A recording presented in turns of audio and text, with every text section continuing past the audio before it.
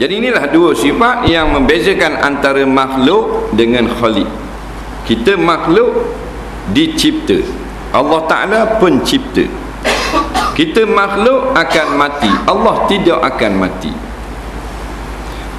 Bila Allah tidak binasa segala-galanya tidak binasa. Kerajaan Allah pun begitu jugalah. Kekuasaan Allah ilmu Allah tak binasa.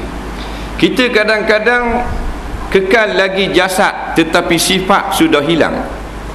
Umpamanya tubuh ada lagi penglihatan tak ada dah. Tubuh ada lagi telinga tak dengar dah. Nah, ha.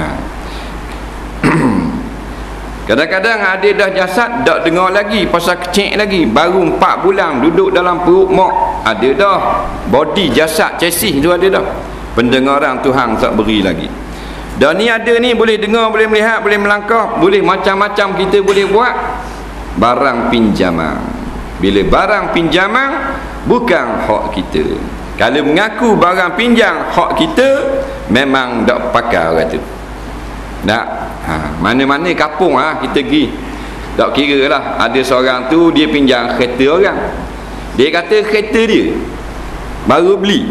Ha, padahal pinjam. Dia kata kereta dia nah, ha, baru beli ni pasal boleh duit saka baru ni orang tahu dah pinjam dengan dolar Nah, orang kata ni berat nanang ni. Memang tak apa sihat. Mana-mana pun kita pergi kalau barang pinjam ngaku hak dia orang ni tak molek perangai uduh orang panggil Nah, ha, maka kita gitu juga kalau kita kata mata ni hak kita, ha dak apa molek. kalau kita kata piti dalam bank tu duit kita, dak apa sihat tu. Dak apa sihat anak beranak gila babi. Faham? Ha tu kata piti kita tu hang pinjam, kereta we pinjam, tanah we pinjam, rumah we pinjam. Siapa masa iu pinjam anak kita pula. Dah? Ha batulah tidak ada kelebihan tak ada patut kesombongan kalau pakai barang pinjam nah cikgu kalau ada seorang kawan cikgu pinjam barang orang patut buat eh ngaku hak dia cikgu beri ha, tak beri tak ada orang beri nah aha. kalau dia kata hak dia tapi tak sombong nah ha, tapi kereta tu hak pinjam tapi dia ngaku hak dia. Orang kata berat nanang dah orang ni. Apatah lagi kalau dah saja dah lah mengaku kereta dia lepas tu eh pula depan orang gong pula. Kau orang tak berahi lagi.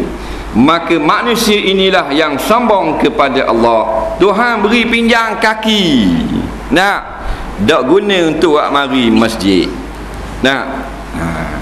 buat cari makan pagi petang macam bapak kapi laknatullah kapi laknat pagi pergi hijau cari makan petang balik wi makan kanak pula Nah.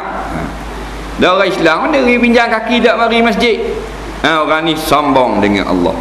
Wi pinjam tangan, tidak buat kebajikan dengan tangan. Nah, beri pinjam mata, beri pinjam macam-macam, tidak balas budi Allah. Ha, ini orang sombong.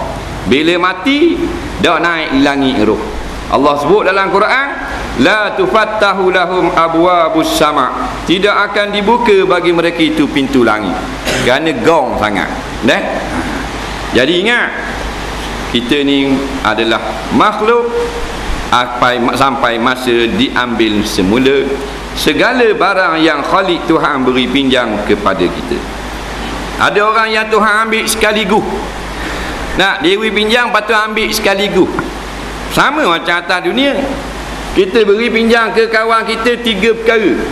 Pinjam motosikal kerana dia nak atau anak sekolah dia kata. Lepas tu we pinjam cakur kerana dia nak nanang lada.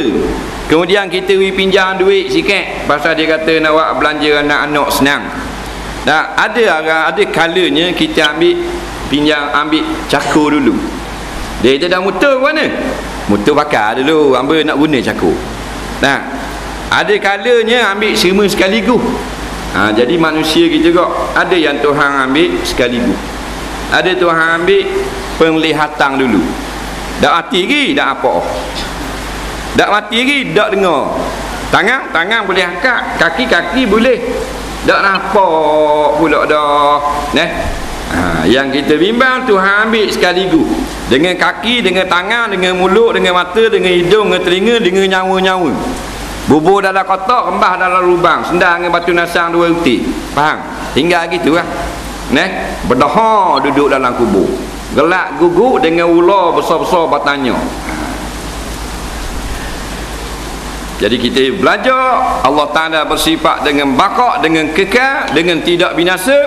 Maka kita tidak takut kepada suatu kerajaan pun yang ada pada alam ini. Kerana segalanya akan punah binasa. Yang kita takut hanya kerajaan Allah. Dialah kerajaan yang kekal dulu kini dan selamanya. Ha, baru juruh ngaji sifat 20